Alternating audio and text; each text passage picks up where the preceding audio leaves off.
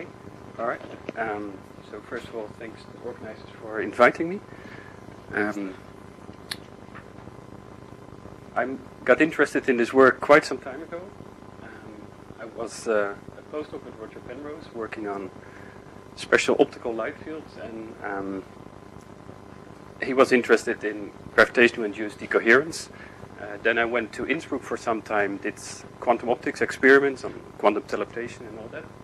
And then I got back to Oxford, um, starting a, a, little group in quantum optics. And uh, Roger Penrose one day literally came to the lab and he said, "We really have to talk about this experiment that I want to do with satellites and UV, um, X-ray photons bouncing around. And I know people at NASA, and we can do that." And I thought, okay, let's calm down. Um, let's see if we can do something in, on an optical table. And uh, so we we thought about an experiment, and it was published 2003. And the main idea of that experiment was uh, start with a single photon. And this single photon we put in a superposition of being in one arm or in the other arm. And if this photon enters uh, either this cavity or that cavity, then this superposition could be turned into entanglement with the motion of a mirror. So if the photon is here, the mirror stays at rest. If the photon enters this cavity and if the mirror is weak en- is, is uh, small enough, if the spring constants are, are weak enough, if you can trap the light long enough, then the light radiation of a single photon should be able to displace this mirror more than its ground state wave packet or the relevant size that uh, Roger Penrose wanted to investigate. Um, so the question is, can we build such an experiment? And um, what we proposed was first to try to create uh, a superposition entanglement between this cantilever and the photon. And the experiment we planned, and we're still working on, and, and others are working on by now, um, would still be several orders away from where Roger Penrose wants to be. Um, but I've been really astonished by how much progress has been made in the last few years in different directions in actually uh, entering the regime where Roger Penrose makes some interesting predictions. So I've been focusing with uh, part of my research group on the first making this part of the experimental setup. And it started back in 2006 with simply cutting out a small mirror and glue it onto the tip of an uh, atomic force or on a atomic force microscope tip. Um, we had reasonable opt- or finesse, optical finesse. The mechanical Qs were of the, of the order of 100,000, and um, we want to stay at low uh, resonance frequencies, about uh, 100 kilohertz. Then we have way too much mass on the support, so we have to replace the atomic force uh, cantilever by much smaller arms. So recently we started to make these structures uh, in the clean rooms at UCSB, where we grow the material ourselves on top of um, silicon uh, nitride membranes, and then we can etch away so we get uh, tiny arms. Now this got us quite some improvement in the Q, but the finesse was still poor. And that had to do with the fact that the coatings that we could make ourselves at UCSB are okay, but it really is an art. You need a specialized company to get the highest possible uh, coatings. So we redesigned our fabrication so that during part of the of the steps we can have the material coated, and um, our latest structures have uh, a better finesse. Um, we don't have the highest finesse yet. We don't want that because otherwise we would get too high a cavity that would be too sensitive to uh, motion, and we have to develop a cryostat, a cryostat system where we can do optical measurements. So we don't want the highest possible optical finesse to start with because we, we have to develop many other things. So um, those structures uh, we have now, and it turns out that they have different properties once they are installed in a cryostat. The, the way you clamp structures, the way you cool structures. Um, there, there are many te- technical points um, that come into play. Sorry?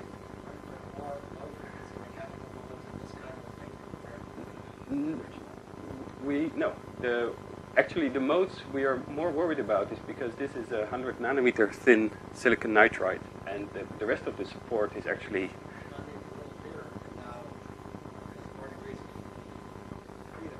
we, we, we use the trampoline mode, that is the lowest frequency mode, and, and the other modes are still far away. Yeah. Um, but there are other modes in the, in the silicon nitride membrane that might play a role. So, we'll come to that um, because we do have some measurement results on these structures since a, since a month or two, and we try to understand them. Um, but I'll come to that uh, at the end.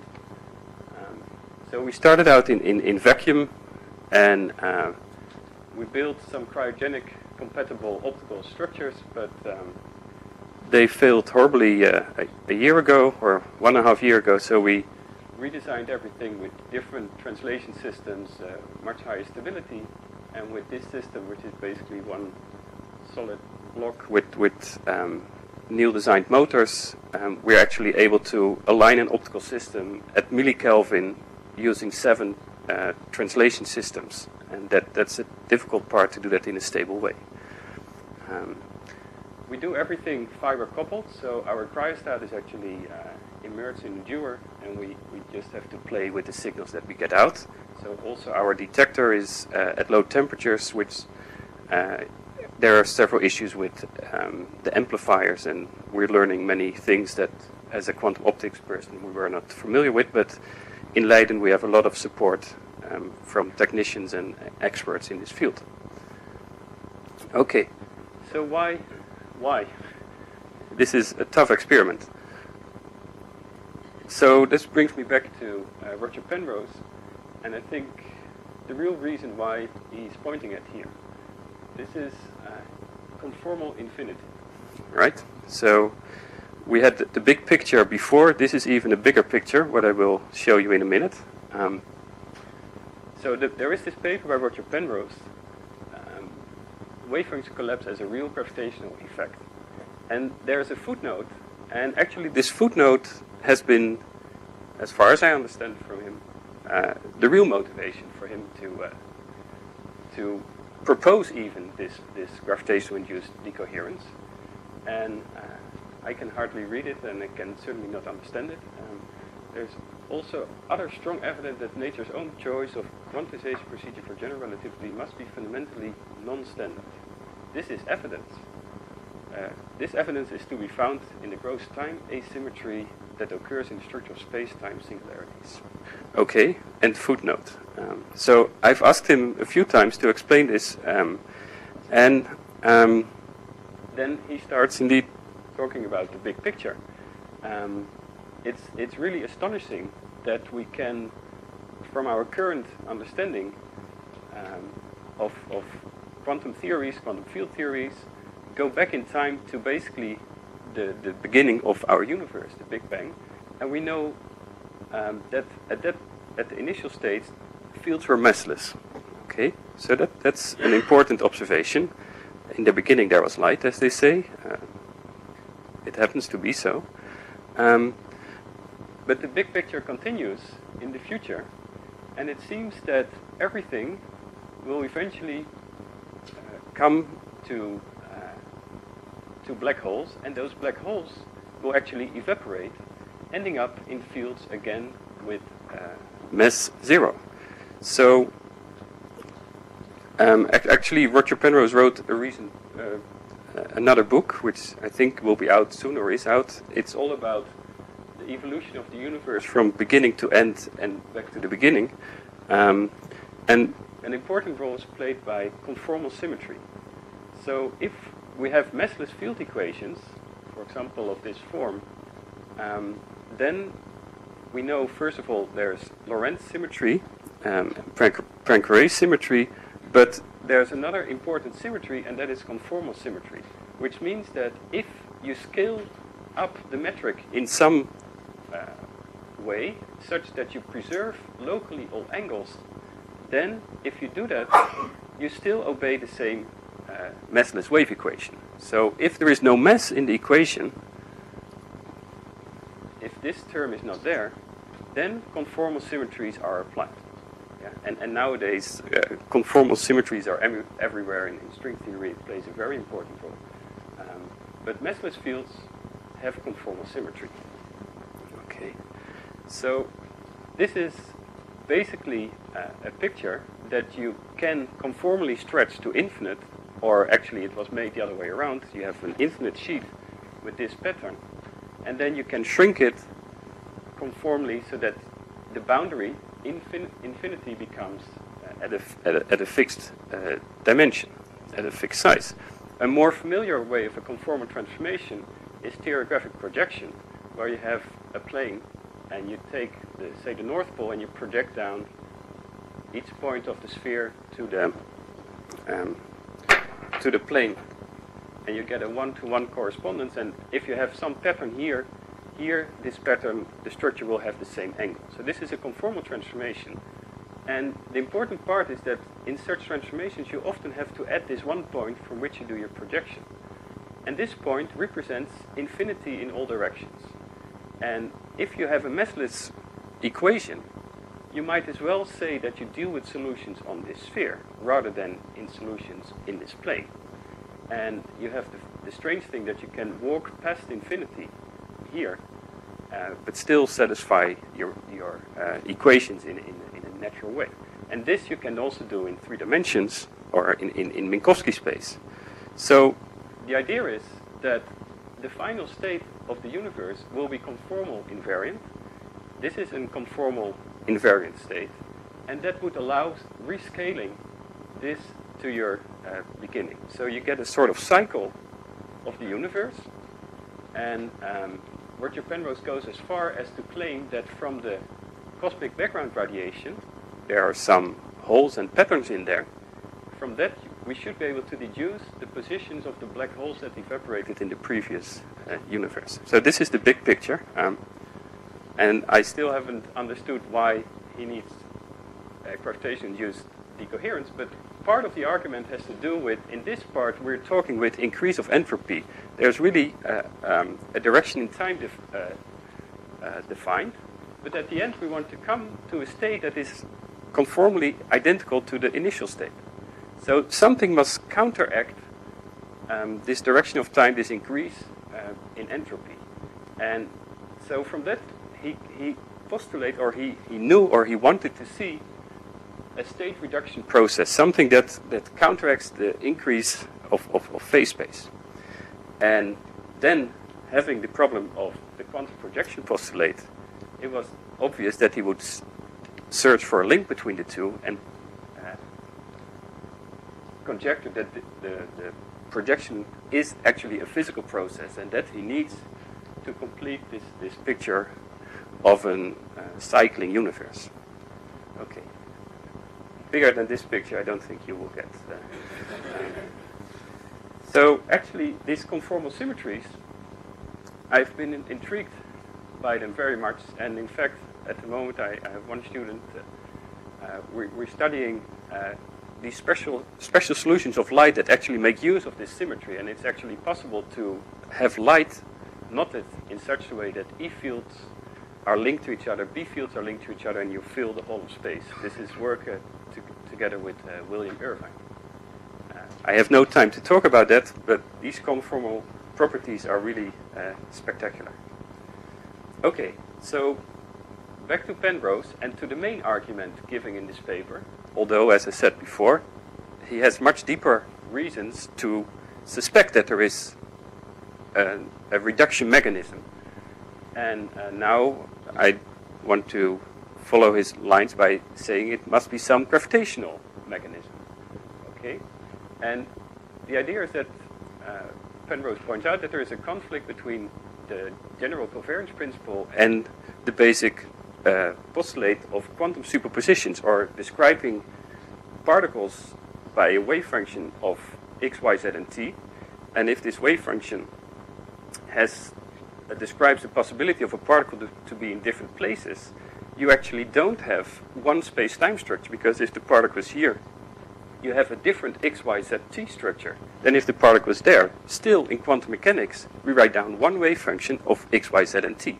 So there's something, to me, reasonably obvious wrong. The question is, what do you do with it? But I think there is a, a clear point that, that something is, is wrong. Um, so here it's, it's what I just said uh, formulated, a bit more precise. So quantum mechanically, you would look for uh, the Schrodinger equation for eigenstates um, that are eigenvalues of the derivative with respect to time. So if we have a massive object that is in a superposition of two places, but each superposition is, uh, is represented by uh, this, part, this wave function and that wave function, then we're dealing with this wave function if the particle is in one place, this with the other, and now we put it in a superposition, and the question is, what do I have as my operator for the time derivative? In fact, this operator is not um, very accurately def defined. In fact, there is some uncertainty in the definition of the time derivative. And this uncertainty is directly related to an uncertainty of energy that is associated to the state. And an uncertainty on en in energy um, would result in an uncertainty in time by, by Heisenberg uh, uncertainty relation. Okay. So there is something wrong. What can you postulate about the, the effect of it? So consider we have this superposition, and F and F prime are the, the, the classical gravitational forces per unit test mass, resulting from the particle being represented by the state psi and, and of the particle represented by the state phi. Okay. So Penrose postulates, and this is basically the only reasonable thing, you want to get some positive number out of it, you take the difference of these fields as generated by the, the two possible positions of the mass uh, squared to get a, a, a positive number, and you integrate over space. And then, for dimensional reasons, you have to put uh, g in. And if you talk to Penrose, he says, I'm only not quite sure about the 4 pi. so, but this is the way he calculates a certain, uh, an, an, energy uncertainty that is associated with putting a massive object in a superposition. Or say differently, you want to form a, a blister in space-time. You want to have um, two different space-time structures, and this calculation tells you, okay, it's fine, but only uh, for a certain amount of time, namely uh, h bar divided by this gravitational self-energy. Okay. Now this is nothing like a, a, a pure theory. Uh, it, it's a postulate, and um, it's surprising that other people like Diósi have, have come up with exactly the same equation just by saying, um, what could it be if I have a superposition? What, what could give me something of the form of an energy? And um, you again arrive at this expression. Okay. Now, if I have an object with some total mass and with it made up of, of little uh, mass particles like the silicon nuclei, um, what, what do I get from this calculation? And um, so in the limit that the separation is larger than, the, uh, say, the diameter of your elementary particles in the system, you end up with an equation like this. And um, there's one small problem, which is actually quite a big problem. Um, you have to know what is the mass and what is the mass distribution of a piece of material to do the calculation that Penrose uh, proposes. So if we have some crystal, we could think of it composite out of, of atoms. And uh, what should we take? Well, we know that most of the mass is in the nucleus. So I've looked into that a little bit further, how the mass distribution is in the nucleus. Well, you have a fairly dense packing of protons and, and, and neutrons. And um, if you want to describe the structure of the neutrons and the protons, you have to uh, look into quantum chromodynamics, where you have uh, quarks and gluons. And it turns out that actually the mass of a neutron is for 99% actually uh, the energy stored in the virtual gluons that hold uh, the things together. And they are indeed sort of distributed over a, a fuzzy ball. So it's known that the, the, the nucleus or the protons, they really are some smeared out energy distribution and smeared out mass distribution. and the nucleus themselves is also quite a dense um, uh, configuration of the neutrons and protons. So maybe the best thing to take is indeed um, the size of the nucleus. Um, so that is one part that you could take in such a calculation. It's also been suggested that we should take this, the size of the ground state wave packet. And in fact, that is what most people quote if they refer to the, this work of Penrose, that uh, the size that is relevant is the size of the ground state wave packet. Um, I'm, I'm, not at all sure about it. Um, if you were to put these numbers in, then according to Penrose, for the systems that I will discuss, we expect decoherence times of one, one millisecond if this is the relevant size, and something uh, several orders larger if um, the ground state wave packet is the size. So in, in, in, fact, I think experiments might get closer to the interesting regime um, if this is the relevant size than, than what people are quoting these days. Okay, um, just, just for comparison, if you do the calculation here for C60 experiments, then the time for decoherence, according to this gravitational-induced decoherence, would be 10 to the 10 seconds. So way, way, way beyond the timescales that these experiments uh, take.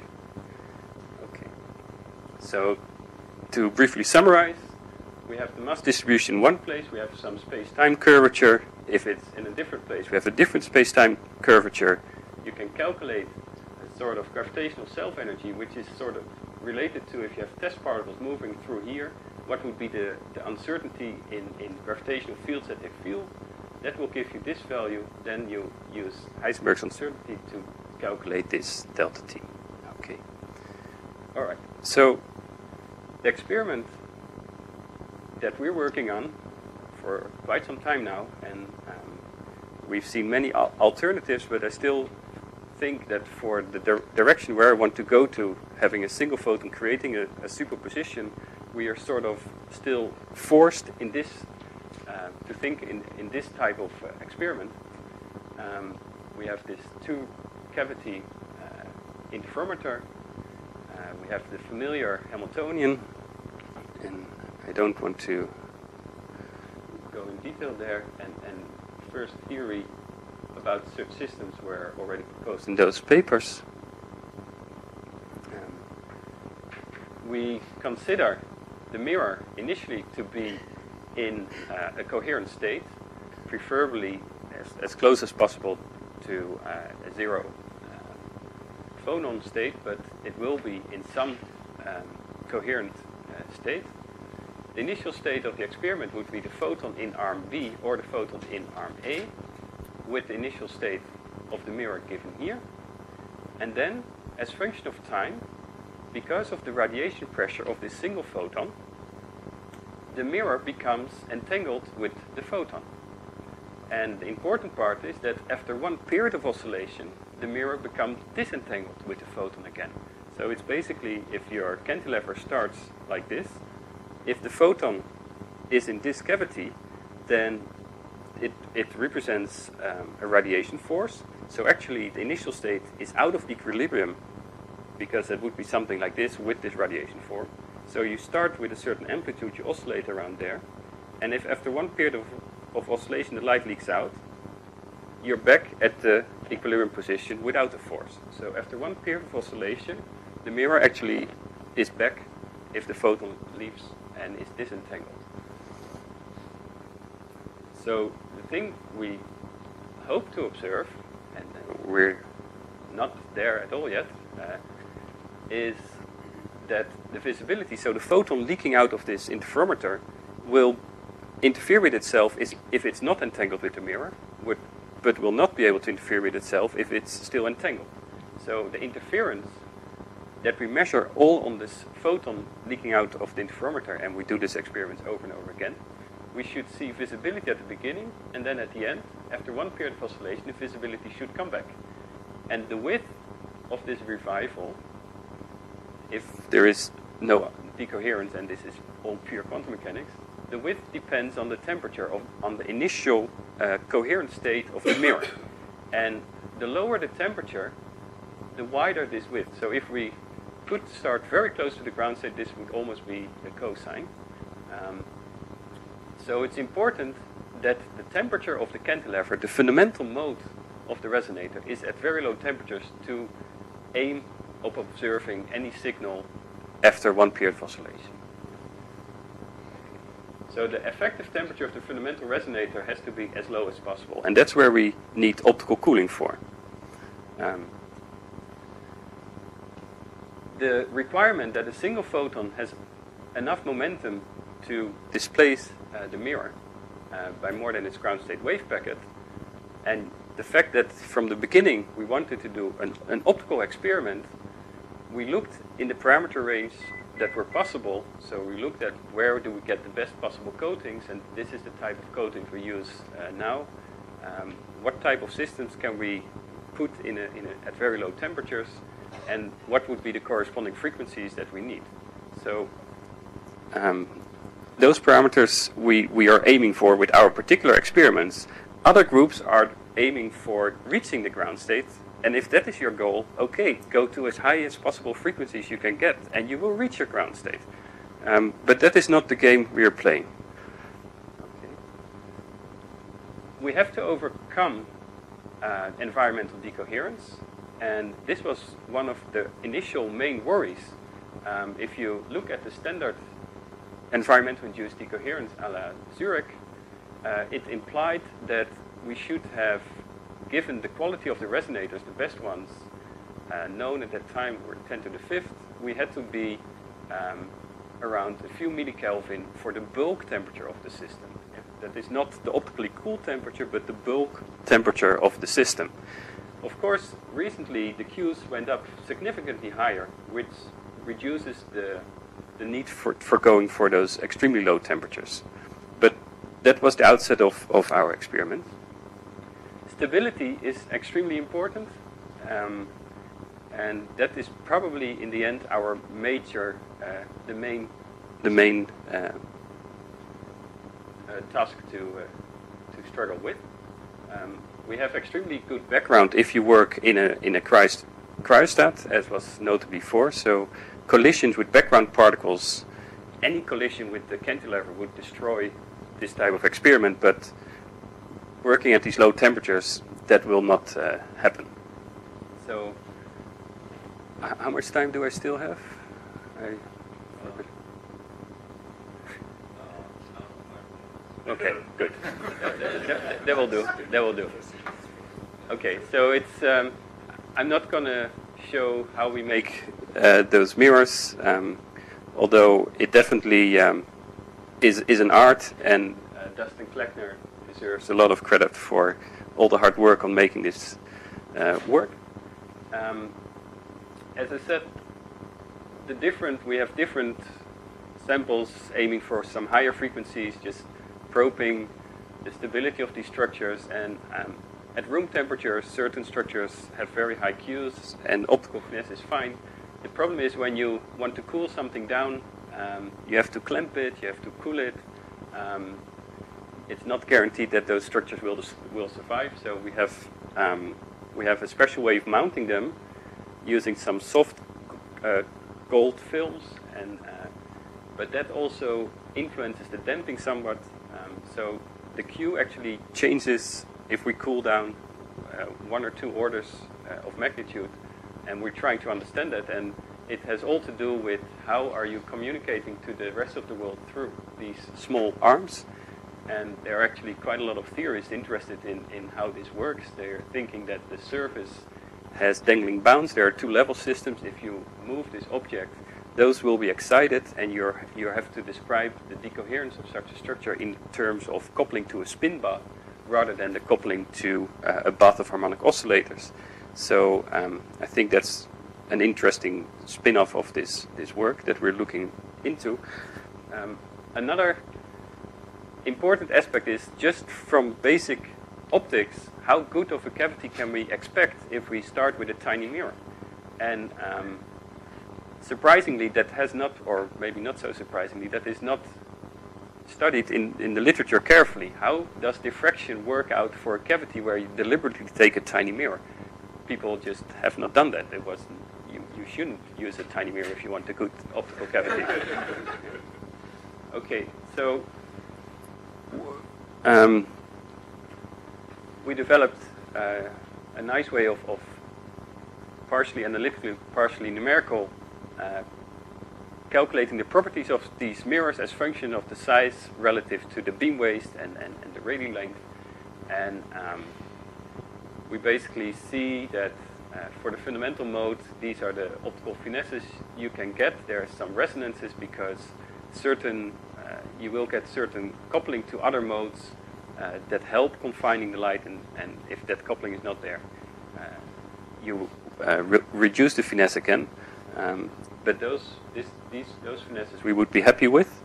Um, then we looked at the effect of defocusing. So if the mirror is not if the small mirror is not exactly at the center of the curved mirror, um, we can uh, simulate that as well. And the conclusion there is that we actually have to align these cavities to a few nanometer accuracy to get to the very high finesse. So that's something to be aware of. Um, uh, and then the biggest surprise for us was that the major trouble in making these cavities good is not the small mirror, but the large mirror.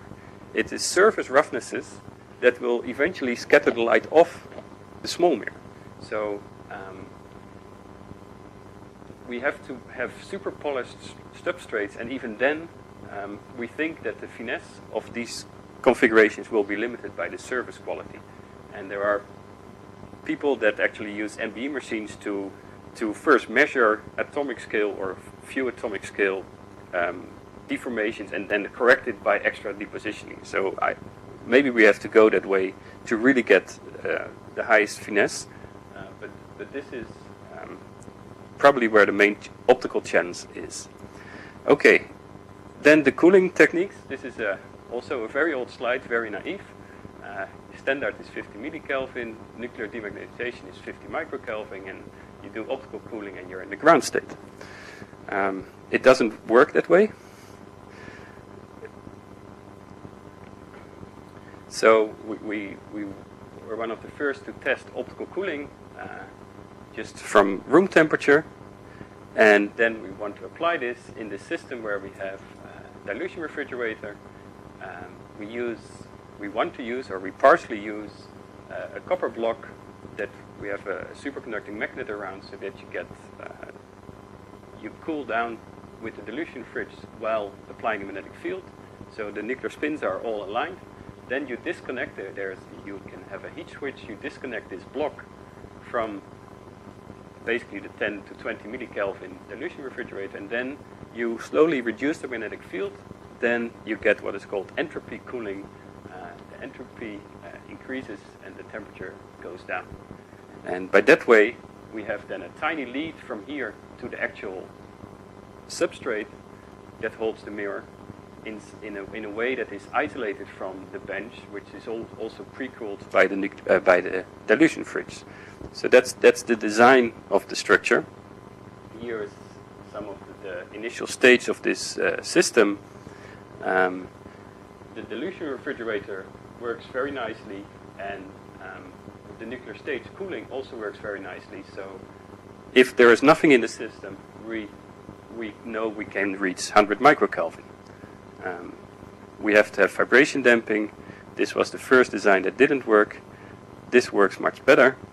Um, and our last efforts, we, uh, we did optical cooling. I don't have to explain the, the optical cooling methods. They have been discussed several times. Um, what you do expect is you find your, your mechanical resonance and as function of the, the, the cooling power, or in our case, how far you displace the laser on, on the sideband, uh, you would, as you saw in the previous talk, you should um, have a broadening of the peak and a shift, actually, which wasn't visible in the previous. Here you see that uh, we, we expect a strong uh, optical spring shift of the frequency. And uh, what we saw recently, and that's not, not yet understood, is this is the peak we start with. So first of all, I should point out that this was done um, with the dilution refrigerator on, so there's additional um, uh, noise, and with the, the cooling beams on through the optical fiber. And um, what we saw that in this run, we actually are heating the entire setup with the optical beams that we use. And, and we know we can reduce that by at least two or three orders of magnitude and by better designing the optics. So um, we, we, uh, we are able to, th that was the main part for this run. Actually, you have to cool down the structure with all the optics changing. And so you have all these motors to keep control of your cavities. Because if you lose the alignment, you, you're stuck. You have to heat up and so. So you cool down, and then the motors that we have are not piezo driven, but they are in, designed in such a way that once you are at the right alignment, you can turn them off. So you don't introduce additional heating and you don't introduce additional vibration. So that part has been holding us up for quite some time. That part is working. Um, but now we have this uh, slightly undesirable initial point of 800 millikelvin. And again, I'm, I'm sure we can reduce it quite a bit. Then we start doing the cooling, and um, here we go to a Q of 400 at 80 millikelvin, and it goes quite a bit lower. Um, but the problem is that we see um, additional features. It seems that although we do passive cooling, that there is some active component in the cooling, which is shouldn't be there from the simple theory.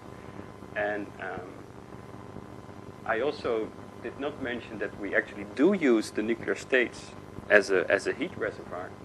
So um, it could well be that the temperature of the cantilever, um, because it, it slowly equilibrium, comes in equilibrium, that the temperature is um, significantly lower than the bulk temperature that we measure on, um, on the copper block.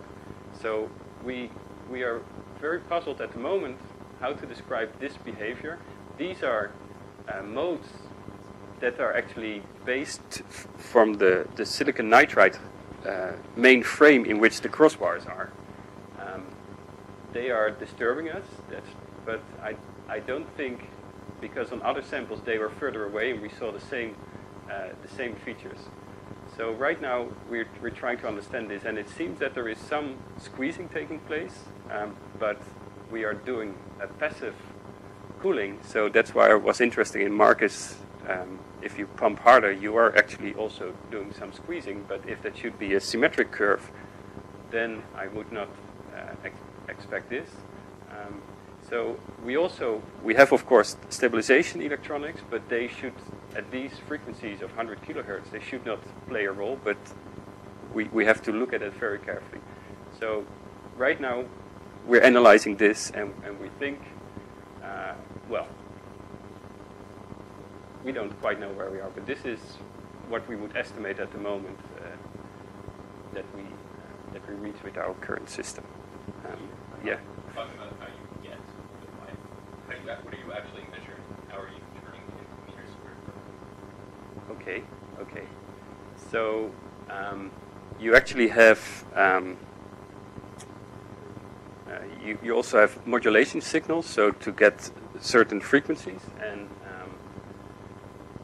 in fact, we there have been several calibration measurements of the amplitude, and so you sit on on the the edge of a resonance, and we basically because our structure are these cross resonators, we can put a director, detector right behind it, so we measure transmission uh, of that uh, that frequency, uh, that, that light, and um, so the only thing we need is an, is a, an absolute measure of, of frequency, and that we do by generating some sidebands with some AOM uh, modulation.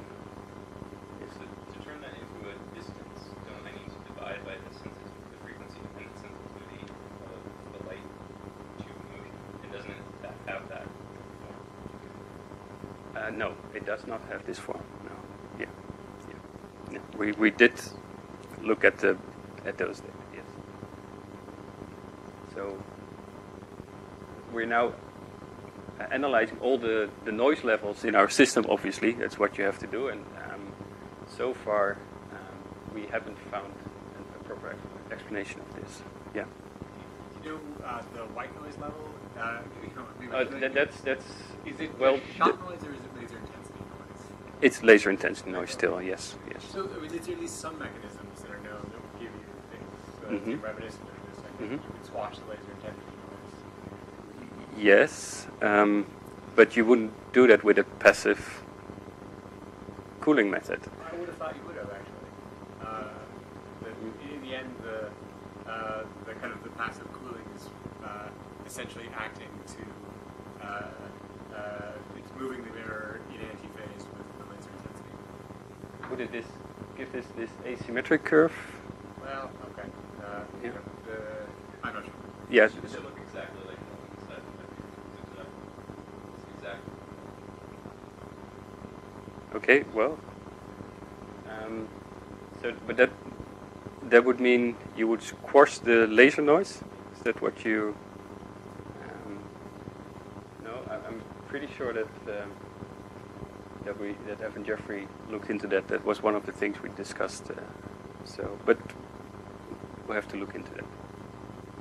Okay, but so that's roughly where where we at.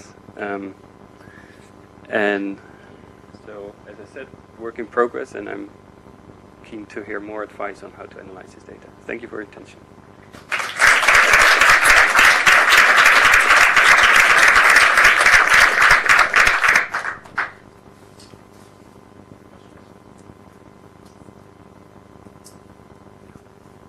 I asked a question about your motivation. And, Uh-huh. is there anything special about the gravitational self-interaction besides the geom- geometric negativity? Does it expect a superposition state to have a, Coulomb self-interaction energy Mac walls? So is, what's, is it just the geometry that's special for gravity? That's why. Yes. Um, so that that is the typical question that Roger Penrose always has to fight. I've, I've been at a talk where also David Gross was, and from the beginning on, he was just knocking like this. Uh, um, later on, I heard, I, I learned that that's his general mode if anyone gives a talk. But but he asked this question: uh, Why? For what, what is so special about gravity? And I think the main reason for this is is something else that Roger Penrose never explains, and that is that he spent all his life on what is called twistor theory, and um, that is uh, a different way of describing known physics. Um, you use x, y, z, and t as coordinates in usual language. He uses twistors as coordinate, and a twistor has six parameters and basically characterizes a light ray in real space. So, if you do that, if you reformulate your all the physical laws in twistor language, you can write Maxwell's equation in twistor language, Einstein equation, then um, you get back the same structure of space-time, but on top of it, you have a phase ambiguity. So this mapping leaves open the possibility of having a, a complex number at each space-time point. So that's why Roger Penrose thinks that quantum mechanics is embedded in space-time structure. And all other fields that he describes, like electromagnetic fields, are just living on, to- on top of that. So that makes all the other interactions at a complete different level than the combination of quantum mechanics and, and uh, general relativity. So uh, quantum mechanics uh, or, or general relativity or gravitational forces are really completely different from all the other forces. Um, and I think there are actually recently strong debates whether gravitational forces actually exist. They they emerge there as as ent- entropy uh, forces in, in recent theories, and that, that's actually taking off very rapidly. There are many many talks on that uh, these days.